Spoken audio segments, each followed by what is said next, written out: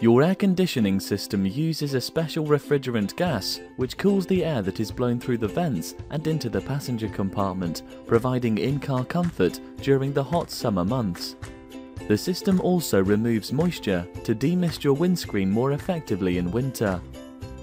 The air conditioning system can lose up to 10% of its gas each year and requires regular servicing to work efficiently and effectively. The aircon system is lubricated by a special oil that circulates through the system with the refrigerant gas.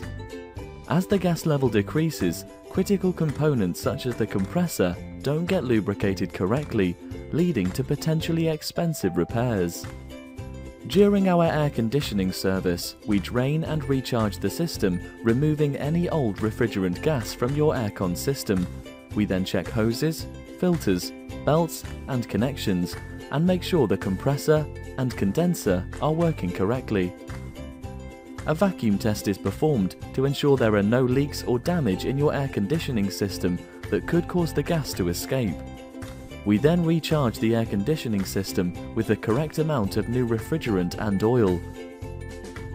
The service also includes a system debug to clear bacterial buildup from within the ventilation system, which will remove any unpleasant odours. Following your air conditioning service, you can be confident that the air in your car is clean and that the system is working efficiently and effectively.